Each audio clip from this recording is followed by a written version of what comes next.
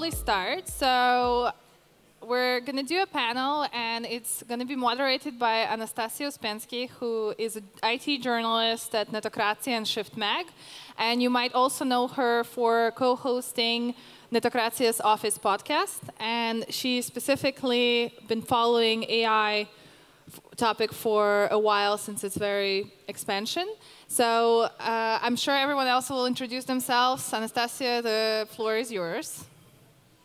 Thank you, Blanca.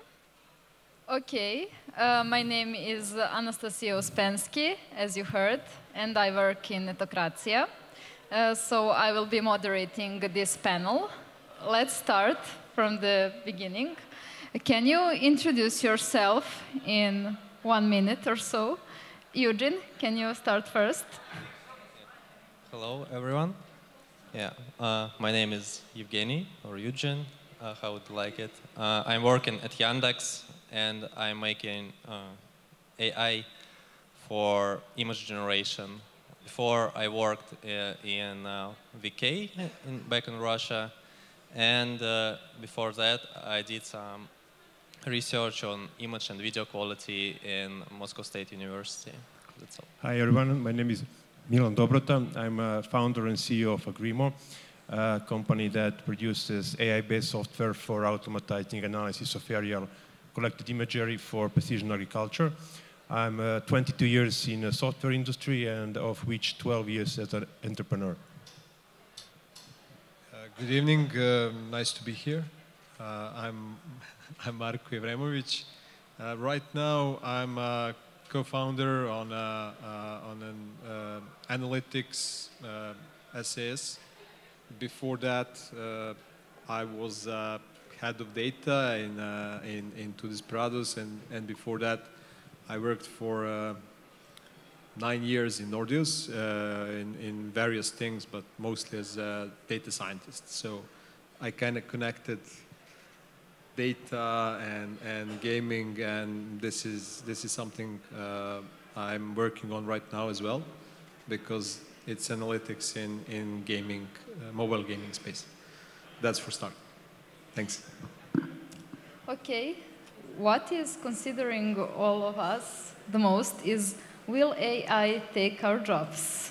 So my first question, I wrote down some about uh, uh, 10 questions, but uh, let's start with first one. Um, you, uh, Evgeny, will you break the ice? Uh, my question is, is there a real reason to panic about AI? And uh, it is going to take our jobs for real. well, I'm personally saying uh, that there's no need to panic. Uh, AI is just another instrument to help increase our productivity and use our time uh, for more creative tasks and you know make routine for us, like, uh, do some routine tasks without our uh, manual uh, in uh, without us. I mean, so we can make more creative tasks. Yeah. Okay, Marko, we had a conversation before this panel. What do you think on this topic? Well, I'm I'm kind of uh, conservative on that uh, on that issue and many others in in terms of AI. Um, I don't think it's gonna. Uh, I don't think it's gonna uh, take your job, definitely, and, and many of, of these people here. There are many very, very weird jobs in the world. So uh, like 100 years ago, uh, there used to be a person who would wake up re really, really early, and then they would knock on your window to, to wake you up.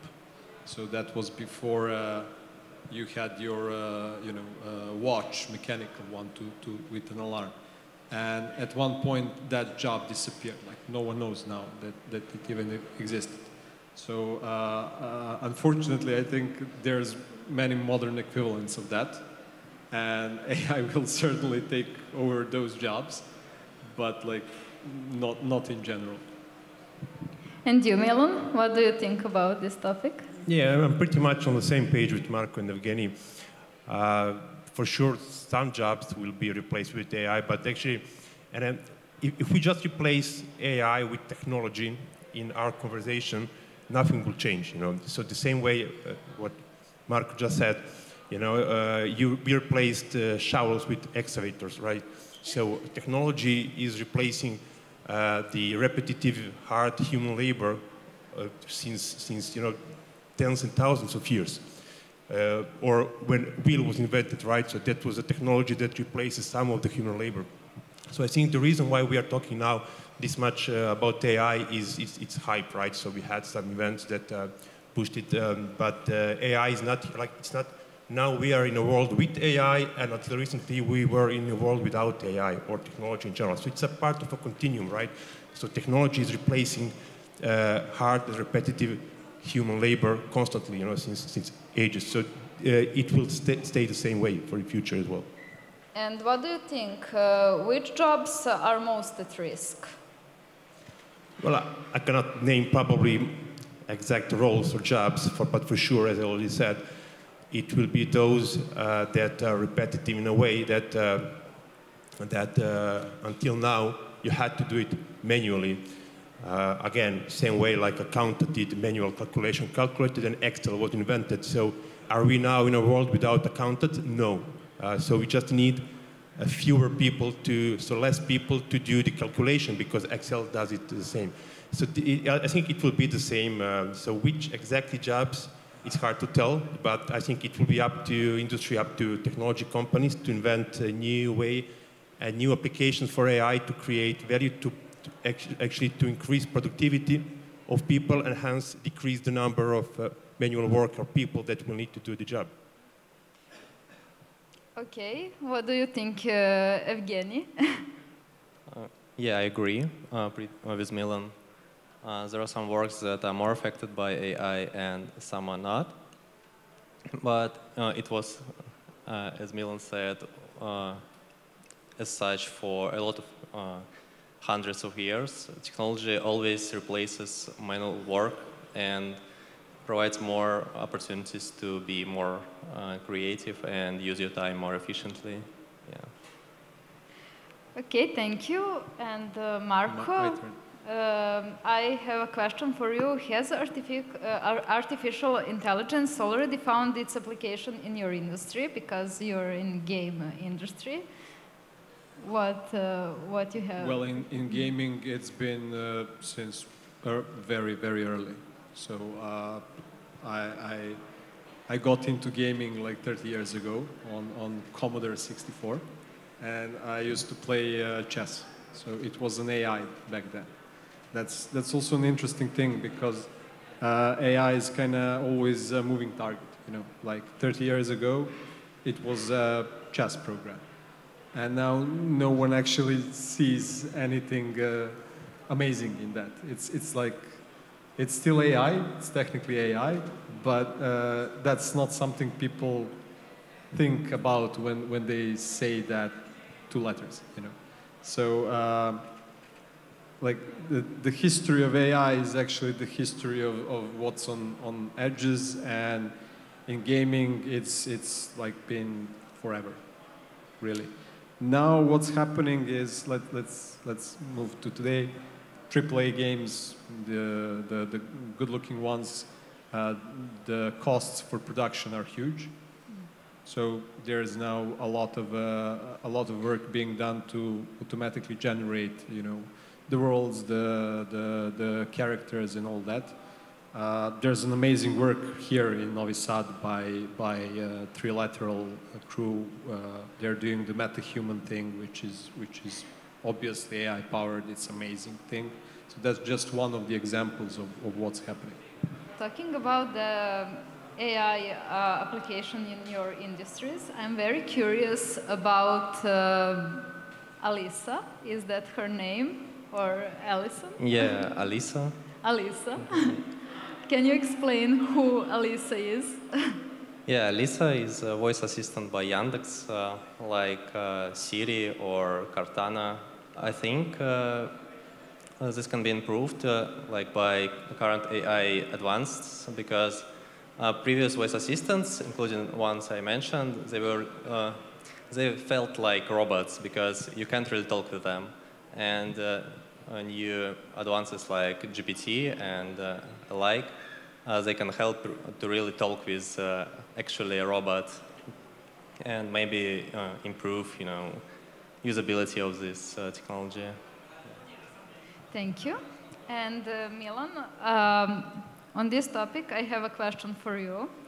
Uh, how do we balance AI-driven automation and preserving human creativity and decision making? What do you think about this topic? How, uh, so how the AI will replace human creativity? Yeah. Well, it won't. It won't, uh, at least not to, to uh, my knowledge or, I, I, guess, general understanding of uh, experts what AI is now, maybe in, in 50 years.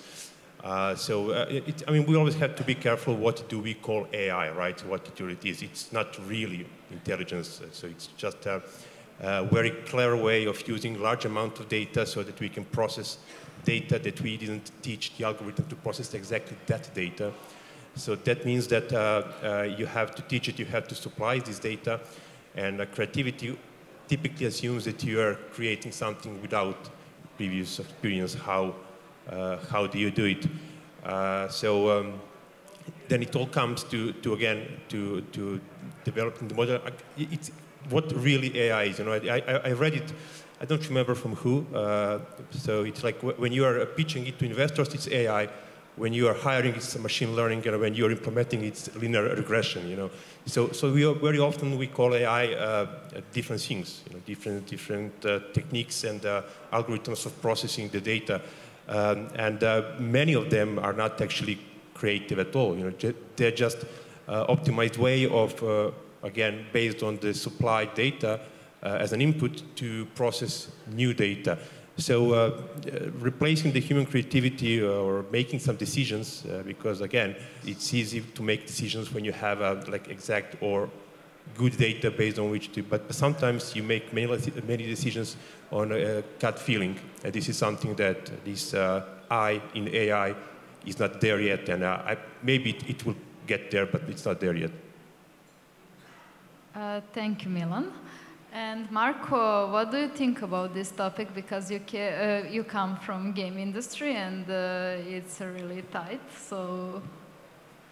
Uh, oof. So I, I, I, can't connect it that much to gaming industry. Um, but um, I used GPT to uh, write a, a, a kind of public announcement in the form of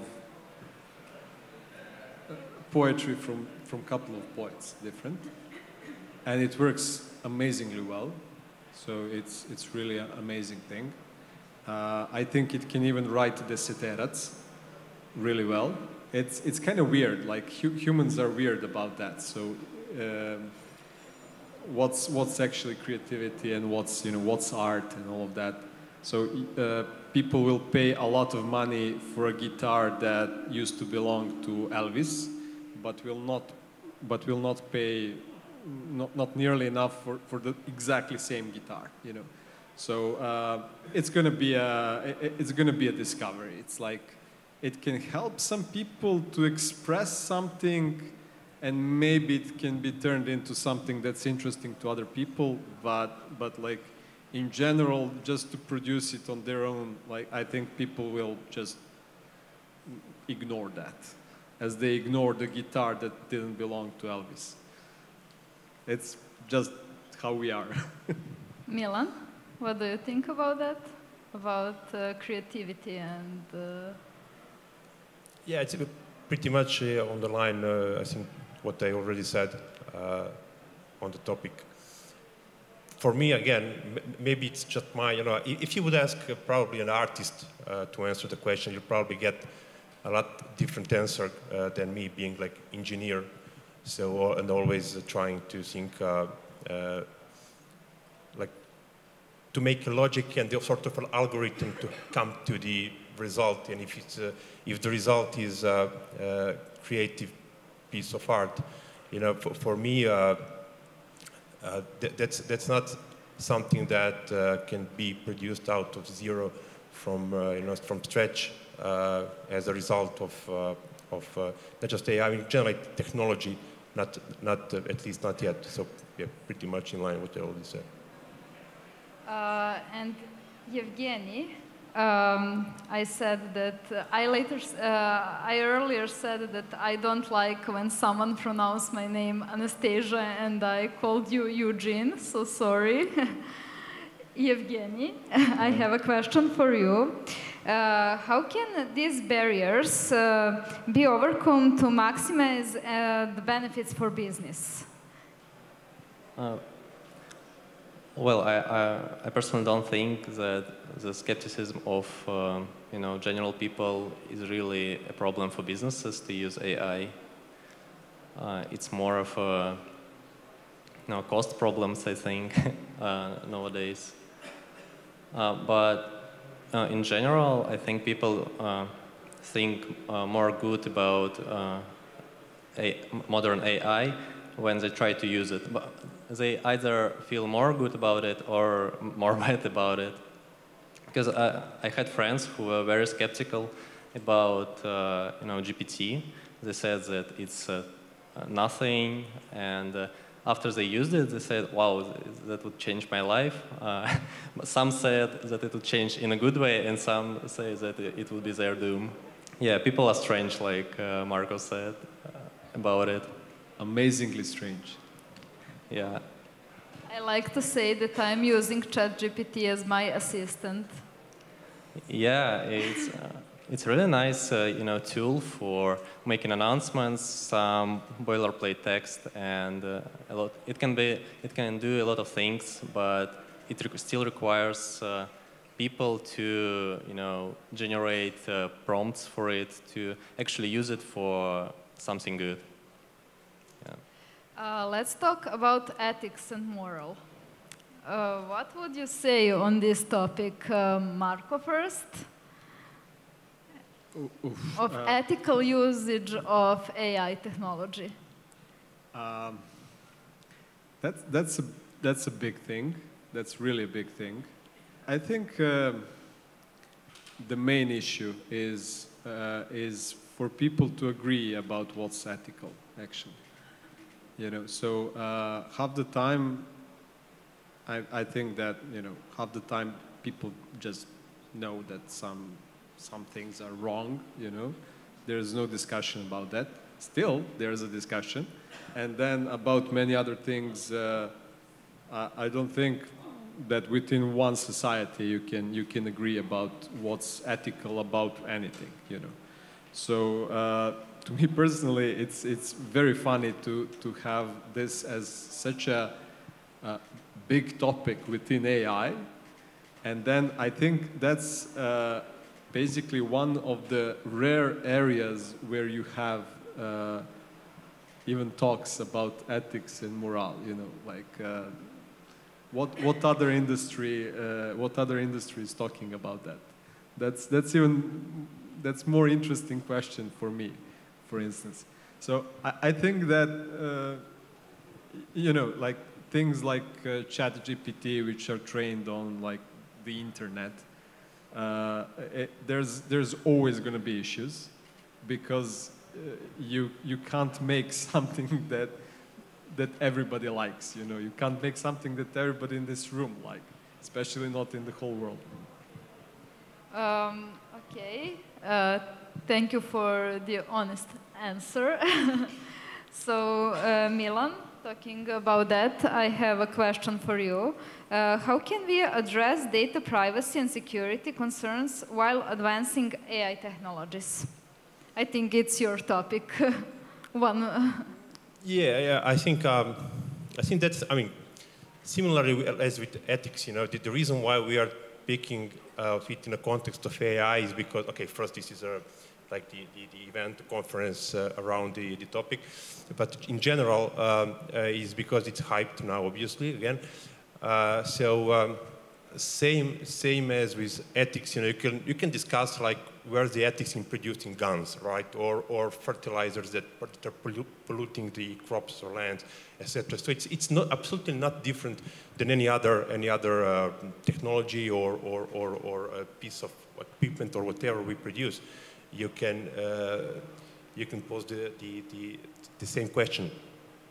So, sorry, but the question that you asked, I, I lost, I, uh, you, the question you asked was uh, was how can we address data pri uh, privacy uh, and security sorry, concerns? I, I yeah, sorry for diverging from the, from, from, the, from the question, but, but it's very linked to me.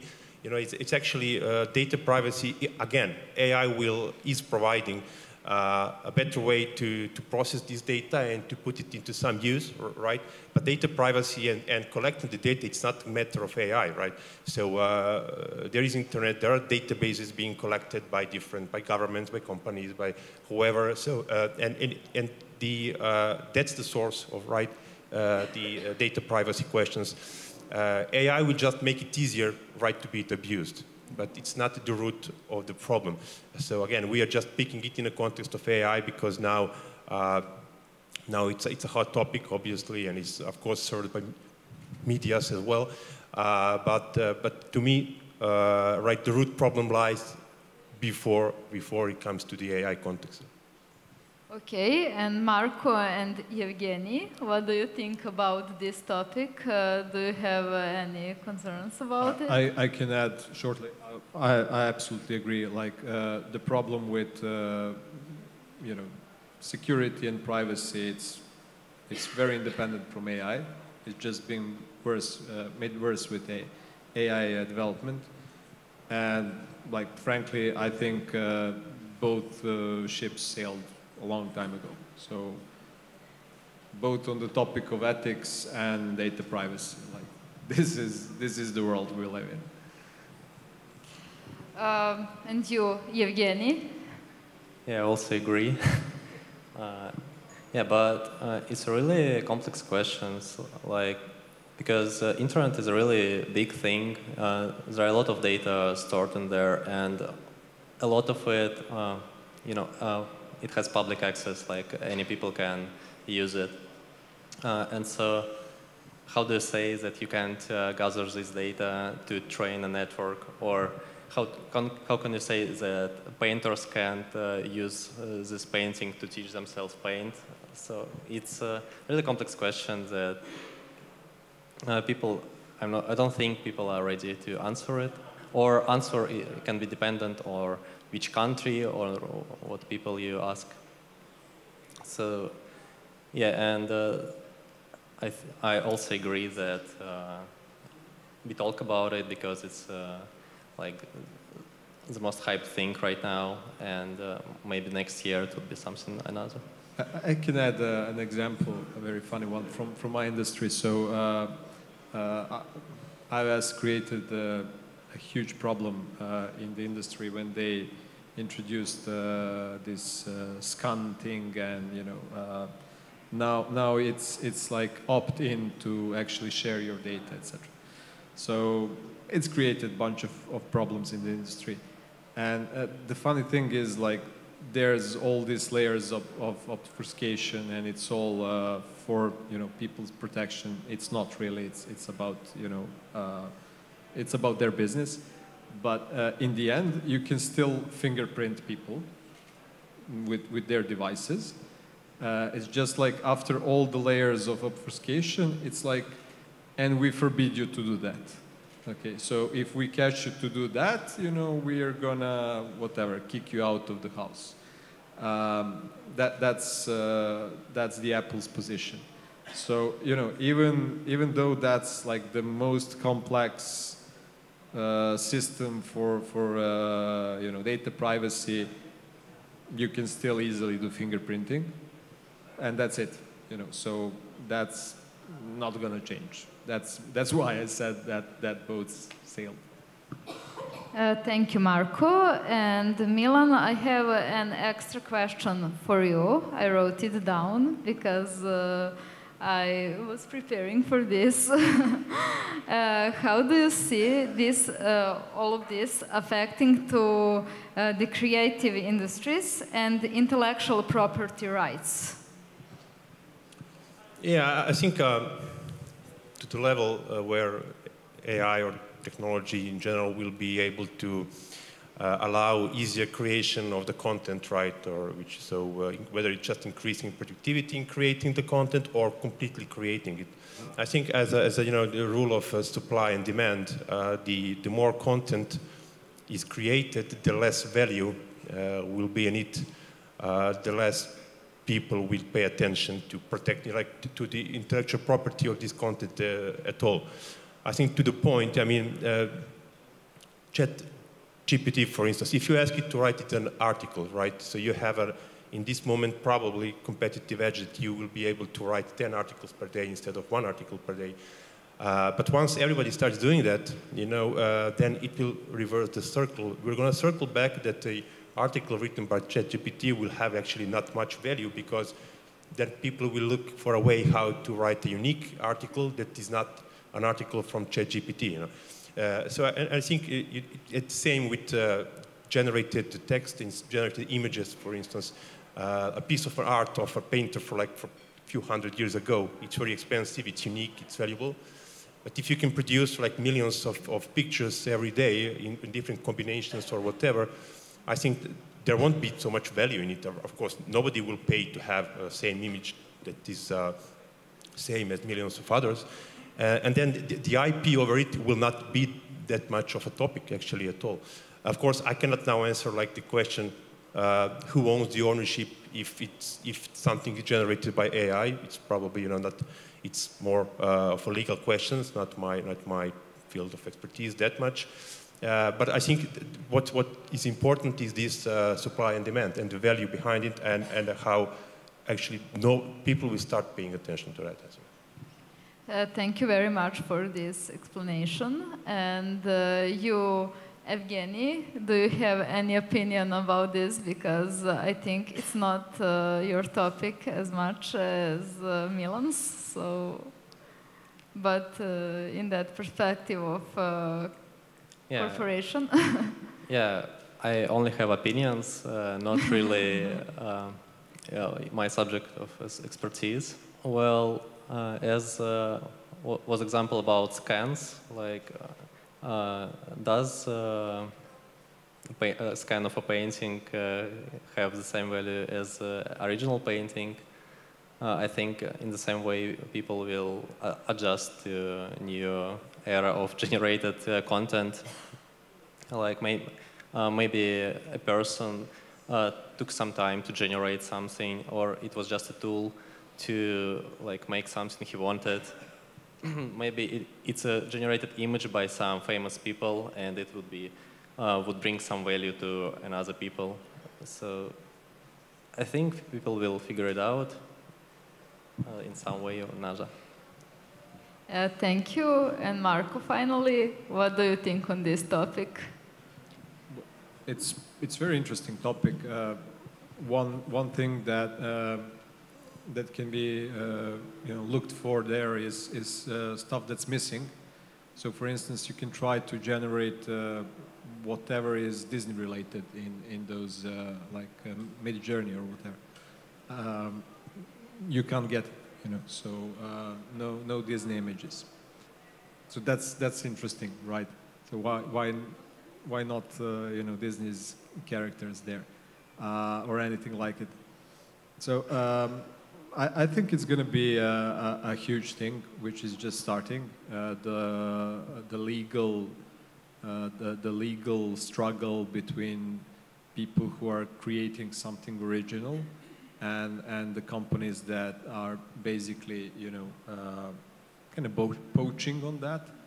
It's it, it's it's going to be strange, uh, and and it's going to be you know probably a battle that happens somewhere on on some court in America but you know, like worst case is that uh, a lot of artists mm, go out of uh, work, and what will happen is basically, you know, at, at one point uh, there will be not that many, you know, uh, human-produced art to train newer models. And uh, you know, uh, if if internet becomes saturated with AI generated art, that's the stuff it's, it's going to be trained on again. And, and this will, you know, in perspective lead to some probably strange results in, in, in, because, you know, we are looking at this one moment in time. But what happens when you have this process roll on, you know? So uh, either either way, like either people decide that they don't like it, or there will actually be a technical issues to train newer models because they created some big gap in, in, in this market. So it's, it's going to be interesting. Uh, I, I, I have no idea. This is like a couple of, of realities that can happen. Okay, thank you very much. And um, at the end, uh, which advice uh, would you give to anyone who is uh, considering about AI and uh, their uh, implementation of those technologies in their work? Uh, start from you, Evgeny. Sorry. Yeah. Well, I think AI, like current technologies, are already here. They will not be left behind, and the technology will uh, advance more and more, like maybe exponentially, and we just need to, you know, get used to it. and uh, I don't think it, it's really a matter of thinking whether it will be good or bad. We just need to find uh, good uh, applications of new technologies to our current life and the lives of other people. Yeah, that's all I think. Milan? Yeah, I think it's um, pretty much similar as uh, any other business. So, so first, if, if, you're building a product or service based on AI, right, so you want to sell it, but uh, whoever will buy it, they won't buy it on kilos, right? Okay, give me five kilos of AI this year, you know. So you have to solve a concrete problem, uh, problem to them. Uh, so AI will probably uh, help you in solving this problem better than it was you were or anyone was able to solve it uh, until now. Uh, but you have to focus again as in, in, if you're producing software, if you're producing whatever, so you have to create value, you have to solve a problem for someone. Uh, and, and then they will say, so even though, even despite the hype, right, so nobody will the guy who is managing uh, whatever is the department uh, in the business that you're trying to sell to. They won't say, yeah, you know, now it's a hype of AI, so, so take my 100,000 euros, I want to buy some AI. So that won't happen like that. that maybe, maybe they will start testing it for, for that reason, but you have to, of course, uh, dig much deeper. And, and it, for instance, us, uh, AI that we develop, it's not like any so clever best world-class AI. I mean, it, it, it, maybe it is, but in the narrow niche that it does, it's also a simple problem, right? So it gives you an opportunity to find much more about your crop and your field than you were able before, right? And people need that. They need it in, in, in agriculture. So that's it. Just find, find exactly what you can solve better than, than without it. Thank you, Milan. And Marko, what is your advice for everyone who is uh, going to take this journey? Uh, well, I'll, I'll assume uh, we're talking about uh, mostly data scientists. So my usual usual advice is to don't think about that. Like that's that's not the way you're solving any problems. Okay, so the best thing is to start with something simple. Simple solutions often work very well and then figure out, you know, how much time, money, whatever resources you need to spend to make something which is some, you know, amazing uh, machine learning solution or whatnot. whatnot. Um, and and what's your, uh, you know, what's your added benefit for that? Uh, because very often, you know, businesses want something that's robust, even though it's it's it's not the best thing. So uh, no one's, well, mostly no one's, you know, starting off to build the best thing ever when they start doing it. So this approach works really well in, in the industry uh, when, when you're starting on, on something new. Uh, so, you know, for most cases, it works well. And then the second, second uh, thing is uh, people should know it's AI. So it should be, you know, part of some experience which provides some value and people shouldn't know anything about it. So there's, there's like AI, some, some you know, neural networks uh, in, in uh, software that processes images on, on phones. Like no one knows about that, you know. It just makes image look good. But uh, no one's selling you AI. They're selling you uh, cool filters, you know. And people will buy that, and they will not buy AI for for photos. So it's it, it, it's something to think about. Though, uh, if you are pitching an idea to an investor, make sure to call it an AI. Yes, yes. But then, yeah, yeah, they, they will buy that. Yes. okay, uh, we are safe now. Our jobs are not going anywhere. I'm, I'm good. I think you're as well. Uh, thank you so much for uh, this conversation. And if uh, anyone have any questions, please be free to ask our speakers.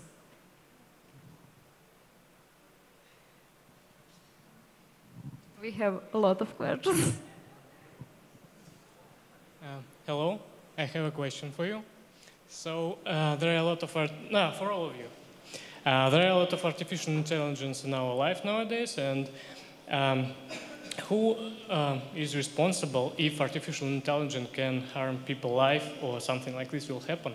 We know we have self-driving cars and voice assistants like uh, Alisa, Siri, or Alexa, and if they will do something and person will die, who will be responsible for this now, and what do you think will happen in future with this responsibility? Again, uh, yeah, I think, thank you for the question, but um, I think it, it, it, comes back to the question, you know, if, if a producer produces a gun and then you kill someone who is responsible, right? Is it someone uh, who produced the gun or someone who misused it?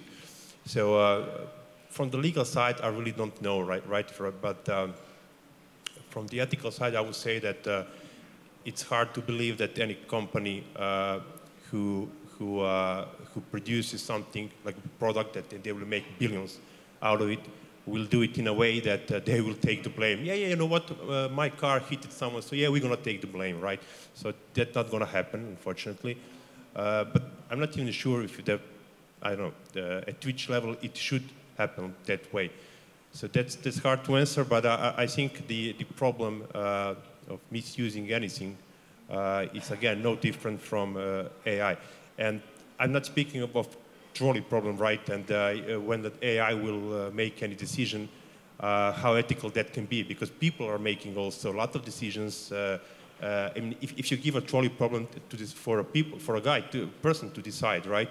It's same. You're gonna have dilemma, and if he decides in a way that he, he's gonna be responsible or not, so I think it's not much different. So this is this, this these things happen constantly, whether it's a AI or human making these decisions, so there are always a gray zone where, I don't know, it's, it's, it's a gray zone. Okay, thank you. But um, um, to, to make sure I got you right, for example, if I am buying self-driving car and this car will hit a human and this human will probably die, with the car I buy responsibility for this car. Do you mean this? Uh, sorry, I don't have a yes or no answer to that. Yeah, really, I would probably have to study it or see what, or study legal studies, you know, for five years to answer the question. So I don't have an answer. I just, you know, it was maybe rhetorical answer from my side. Sorry for that. Okay, thank you.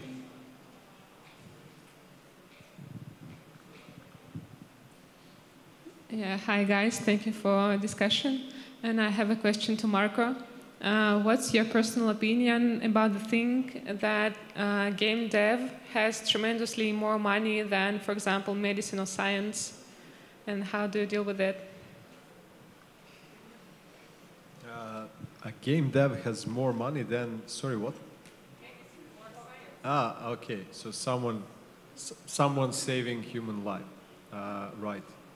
So I don't know. Uh, there's like uh, there's there's many uh, there are people who are like atrocious and they have huge huge uh, you know uh, media space have a lot of money that's that's also an issue uh, can be but I think that that's like the issue of how how the economy works and uh, you know uh, really money is not everything.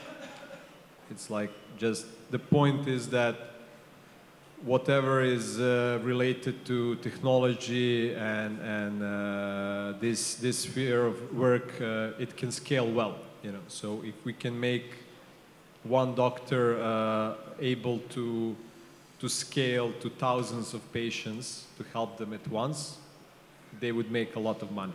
So it's a scaling problem. problem. Um, uh, and, and because of that, you know, there's a difference in, in, in money. But, you know, that's just like that. you kind of have to live with that. So that's, that's it. Thank you very much for the questions. And uh, you can ask our speakers uh, on the after party and enjoy the end of the conference. Thank you very much.